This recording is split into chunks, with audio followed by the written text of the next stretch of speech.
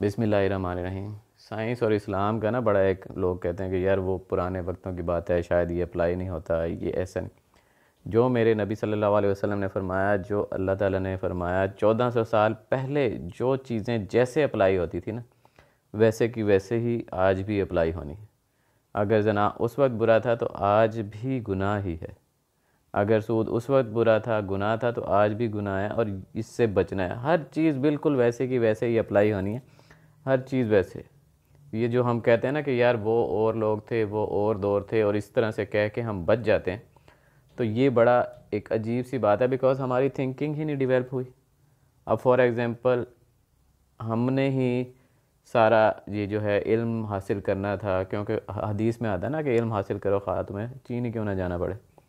तो इल्म का तो हमने मंबा बनना था और ये वो सब कुछ हमारा बेहतरीन उसकी इन्वेस्टिगेशन बेहतरीन एक्सपेरिमेंट्स बेहतरीन एनालिसिस बेहतरीन क्रिटिक्स ये सब कुछ हमने करना था। लेकिन मौलवियों ने, बदकिस्मती से, मुल्लाओं ने सिखाया ही नहीं कि यार किस तरह से करना है और क्या करना है। ये सारी चीज़ें, दुनिया की एक एक चीज़ एक एक ज़र्रा गलेक्सीज मिल्की वे क्लेक्स्टर्स सब कुछ, ये अल्लाह किताबें हैं। तो सिर्फ़ एक माइंड बनाना था ना कि अगर एक हदीस में है कि मेरे नबी सल्लल्लाहु अलैहि वसल्लम ने उंगली से चाँद के दो टुकड़े कर दिए। इशारे से चाँद चीर दिया, छुपे हुए खुर को फेर दिया। तो मुझे साइंस इसलिए भी पढ़नी थी, इसलिए भी ज़्यादा मुशाहिदा करना था कि मुझे वो जगह जाके देखनी है। मुझे इस पर पूरा एतबार है कि मेरे नबी सल्लल्लाहु अलैहि वसल्लम ने जो एक एक बात एक एक हर्फ कहा, वो बिल्कुल सही है। और मुझे वहाँ पे जाना है मुझे उसकी बर, बरकत देखनी है उसकी अपनी आँखों से भी। इस पर तो मुझे यकीन है ही है कि उन्होंने किया। अब जा के मैं देखूँगा तो मेरा ईमान मज़ीद पक्का हो जाएगा ना। इसी तरह कुरान पाक की एक एक आयत एक एक हदीस एक एक हर चीज़। 800 साल तक तो साइंसदान उनको मरवा देते थे जो कहता था कि ज़मीन गोल है। और ये कुरान पाक ने हमें 1400 साल पहले बता दिया। साइंसदान कहते रहे ये फ्लैट है ये ये है ये वो है। ये बता दिया। 800 साल के बाद, बल्कि हज़ार साल के बाद नील आर्मस्ट्रॉन्ग जब चाँद पर पहुँचा तो उसने देखा कि हाँ चाँद के दरमियान एक पूरा एक शगाफ है, पूरी एक लकीर है और टुकड़े हुए हैं। वो जाके पहुँच के और दुनिया को बता रहा है तो हम जाके पहुँच के क्यों नहीं बता रहे कि यार देखो, तुम नहीं मानते हो ना तो ये ये निशानी भी देखो, ये निशानी भी देखो, ये भी मेरे नबी वसल्लम ने कहा, ये भी कुरान पाक में कहा, ये भी। साइंस और कुरान तो अलग है ही नहीं। साइंस बेसिकली दुनिया का हर इल्म जो है, वो मेरे अल्लाह ताला के दिए हुए इल्म में से है। चाहे वो किसी को भी दिया हुआ है, चाहे वो जादू टोने का भी अगर दिया है तो वो अल्लाह ताला ने उसको दिया है। और इसी चीज़ को हम पॉजिटिवली भी यूज़ कर सकते हैं ना। अब यही इल्म हम अगर पॉजिटिवली यूज़ करें तो ये जो नाशीद और ये जो जादू से हमारी यानी कि उसके तोड़ की जो आयात वगैरह होती हैं, ये इल्म अल्लाह ताला ने दी है, ये सारी चीज़ें। तो हम पता नहीं, साइंस को इतना कोई बना देते हैं कि शायद ये खुदा न खास्ता कोई ये अल्लाह ताला के स्कोप से बाहर है तो ऐसा कुछ भी नहीं।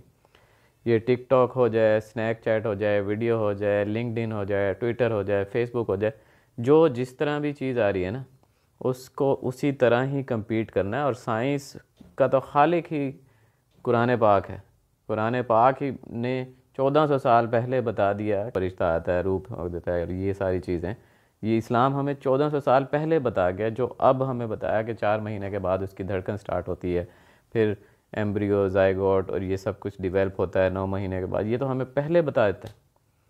और ये कुरान पाक में हमें मफहूम है आयात का कि अल्लाह ताला की जैसे दिल करता है ना, वो अरहाम के अंदर ही उनकी सूरतें बना देता है।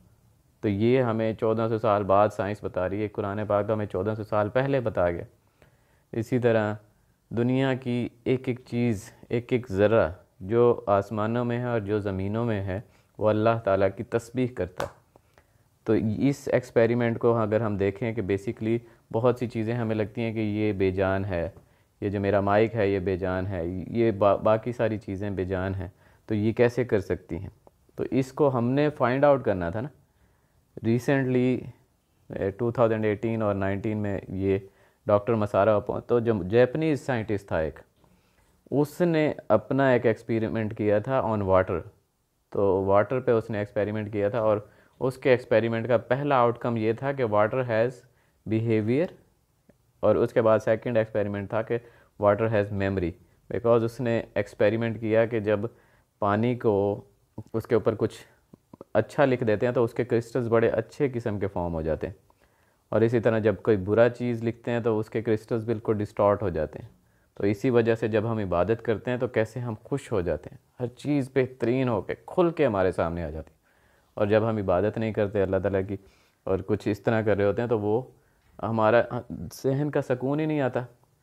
और कुरान पाक के साथ ये मुताबकत है ना। अज़बिल्लानी बिसमिल्लाम अला बिक्र कि दिलों का जो सकून है इतमान है, वो कुरान पाक में ही है, बेशक। तो ये एक एक चीज़ एक एक बेहतरीन चीज़। तो अगर वाटर में मेमोरी है, वाटर का बिहेवियर है, वाटर के क्रिस्टल फॉर्म होते हैं तो डेफिनेटली यही है ना कि किसी ने बनाए हैं और उसके हुक्म के मुताबिक होते हैं तो उसी की तस्वीर करता है। पानी हो, दुनिया की हर चीज़ हो। अभी तो ये, यहाँ क्रिस्टल्स तक हम पहुँचे जब हम आगे जाएँगे इस पर मज़ीद तहकीक़ात करेंगे तो हमें तस्वीर भी मिल जाएगी। तो यहाँ से तो हमने स्टार्ट करना था कुरान पाक से ही, और हमने आगे जाना था। अभी हम उसको जो है, कहते हैं कि यार पता नहीं वो और दौर थे। वो और दौर नहीं थे। जो आयत जैसे नाजिल हुई, चौदह सौ साल पहले, उसकी यूनिवर्सलिटी जो है ना, वो क़्यामत तक रहेगी। उसके बाद एक और साइंसदान आया। उसने यही जो वाटर एक्सपेरिमेंट था, अगर आप गूगल पे लिखेंगे भी सही ना डॉक्टर मसारो मोतो का वाटर एक्सपेरिमेंट तो वो आपको मिल जाएगा कि वाटर हैज़ मेमोरी और और इवन अगर आप देखें तो हमारी दुनिया का वन थर्ड इज़ वाटर ठीक है? तो डेफिनेटली और हमारी बॉडी का सेवेंटी परसेंट वाटर है।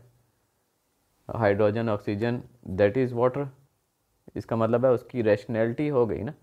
जो क़्यामत के दिन एक एक चीज़ बोलेगी तो वाटर की मेमोरी और वाटर का बिहेवियर है तो इट मीन्स कि दुनिया की हर चीज़ का बिहेवियर और मेमोरी है।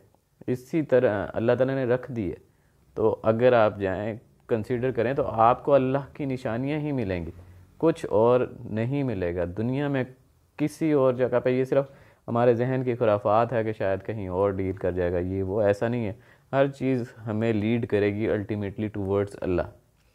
तो डॉक्टर मसारा मतों का जो ये एक्सपेरिमेंट था, उसके बाद एक और साइंटिस्ट ने आप अगर जाके गूगल पे ही सर्च करेंगे या यूट्यूब पे सर्च करेंगे, एक्सपेरिमेंट ऑन राइस, वहाँ पे उसने राइस पे एक्सपेरिमेंट किया और राइस को डिफरेंट जार्स में उसने रखा और इन्होंने, उसने ये देखा कि yes, rice also responds to the stickers that are pasted on the jars, कि मतलब राइस के जो क्रिस्टल्स होते हैं जो उसकी शेप्स होती हैं, वो भी रिएक्ट करती हैं टू वर्ड्स दो स्पेसिफिक स्टेटमेंट्स तो साइंस कभी भी जो है, कभी भी कभी भी इसका स्कोप ये ना समझिएगा कि नहीं, वो इस तरह था और ये इस तरह था। कुरान पाक की यूनिवर्सलिटी उसकी इटर्निटी उसकी हमेशा, उसकी अथॉरिटी हर चीज़। आज तो क्या पचास हज़ार साल बाद भी अगर कोई चीज़ होगी ना तो कुरान पाक की अथॉरिटी उस पर अल्लाह की अथॉरिटी उस पर हमेशा कायम रहेगी। ये कहना कि साइंस और कुरान जो है कुछ आपस में क्लैश करते हैं या कुछ नहीं। दुनिया के बेहतरीन साइंटिफिक प्रिंसिपल्स बेसिकली हम ने उस डीप डेप्थ में पढ़ा नहीं है कुरान पाक को। दुनिया के बेहतरीन साइंटिफिक प्रिंसिपल्स जो हैं, वो कुरान पाक में चौदह सौ साल पहले मेंशन है। जो आज से आने पचास, साठ हज़ार साल बाद भी अगर कोई एप्लीकेशन होती रहेगी तो लोगों को मिलते रहेंगे। आर्क ऑफ़ नोहा, यानी कि हज़रत नूह अलैहिस्सलाम की कश्ती जब डिस्कवर हुई इट मीन्स ये कुरान पाक में तो कब से मेंशन है? इसी तरह मोजिज़ Musa that is mentioned in Quran पाक. द सेवन स्लीपर्स असहाब कहाफ़ की कहानी कितने अरसे बाद बनाई, हालाँकि कुरान पाक में मेंशन है.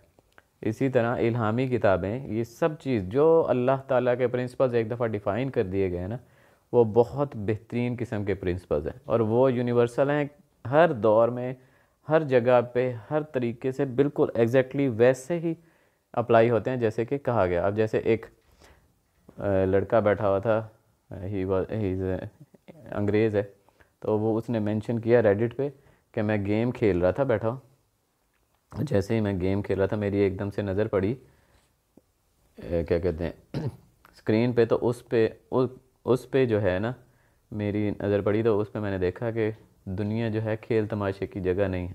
तो उस वक्त ये मैं खेलते उसमें कोई गेम का वर्ड मेंशन नहीं है कुरान पाक में, या कोई ऐसी चीज़ नहीं है। बिकॉज़ उसकी यूनिवर्सैलिटी वैसे ही की वैसे ही है।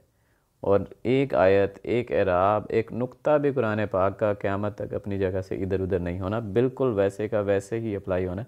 जैसे होना चाहिए, जैसे होने का हक है। और जैसे उस कुरान पाक में मेंशन है।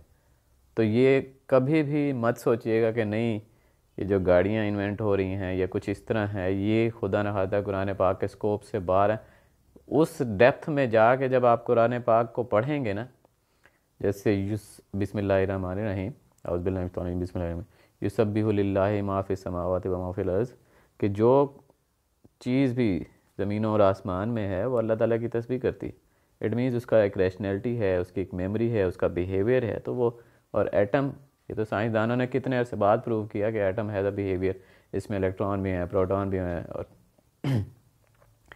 पॉजिटिव चार्ज है नेगेटिव चार्ज है, वो अपने मदार के गिर सर्कुलेट करते हैं और ये सब कुछ। ये सब कुछ बताया ना, बहुत अरसा तक साइंसदानों ने ये मफरूज़ा कायम किए रखा कि ज़मीन स्टेशनरी है।